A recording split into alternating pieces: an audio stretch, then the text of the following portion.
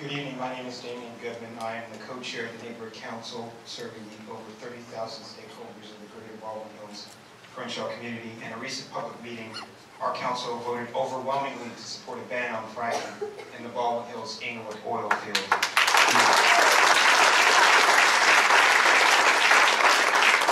I will take my official hat off and just talk as a resident of the area who's deeply concerned about my safety and the safety of this region.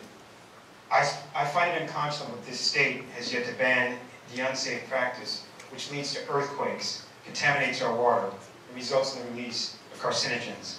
How and why are we even discussing regulation? Instead of doing your job to ban this, to protect our life, you have us discuss how to rearrange chairs on the deck of the Titanic.